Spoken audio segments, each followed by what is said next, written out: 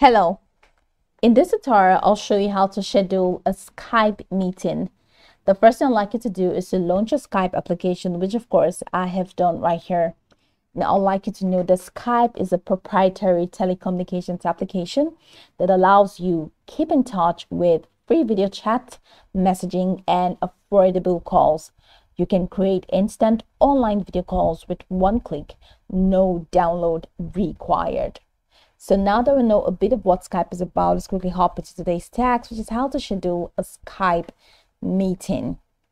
So from this homepage, head over to the left corner of your screen where you have the chat calls contacts today.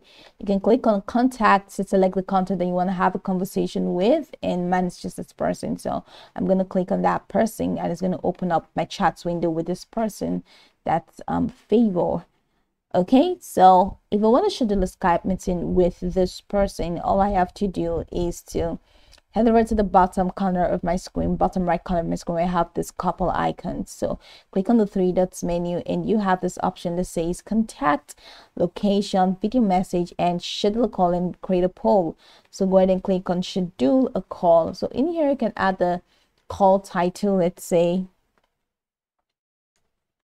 this is going to be meet up and the date. So this is already scheduled for 16th you can click on this calendar icon to change the date if you want to change the date. And this is the time. So you can click on the clock icon for you to change the time. Let's say i want to change the time to 5 a.m and then you have this alert. You want to set an alert 15 minutes before or 30 minutes before one hour before one day before or one week before. I can just set it to 15 minutes before and i'm just going to click on send. I don't want to share this call with this person because person is not available so it's just going to be unnecessary but then just go ahead and click on send and your call will be scheduled. So that's one of the steps that you can take. And the other one is to head over to the top left corner of the screen you have the settings icon. So click on settings icon and you have this extended menu to say send message start call start video call start private conversation schedule a call. So click on schedule a call and it's going to take you right into this window where you can now follow the same processes to schedule a call.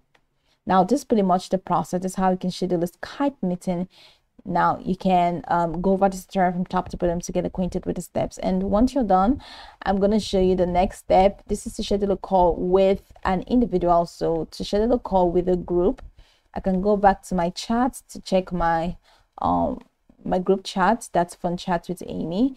So i can click on that and head over here to the three dots menu and still click on schedule a call to schedule a call with my group following the same processes so that's pretty much it now. I hope this tutorial marvelously helped you search.